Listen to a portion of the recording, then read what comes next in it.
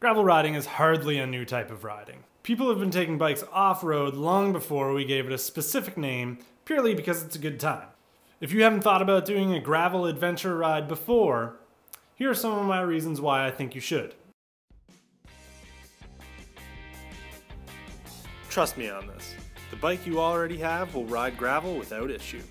There's no need to spend your hard-earned cash on a whole new bike specific to gravel grinding. If you feel the need to make any purchase, upgrade to the biggest tires you can fit, then go explore some dirt roads.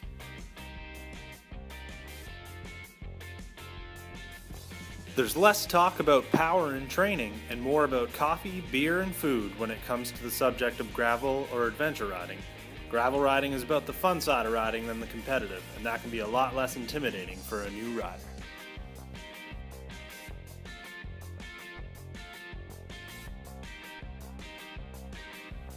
If you're not comfortable with cars speeding by you as you hug the shoulder of a busy road and have no interest in technical mountain bike single track, then finding a service road near you to ride is easily the best way to feel comfortable out on your rides.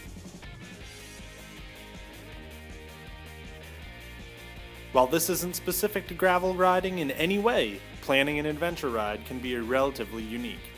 Linking dirt roads into a loop you can navigate can be as challenging as some of the rides themselves, with the route likely taking you to a place you would have never found yourself.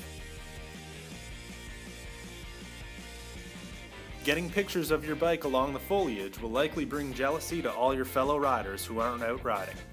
There's almost always something cool to see and capture along your middle of nowhere rides, so don't forget to take the time to take them. Besides, it's not a race. Probably. So there's five reasons to go out and explore the dirt roads in your area. Hopefully this will inspire you to get out there and do so. Be sure to subscribe to the channel for more content, and thanks for watching.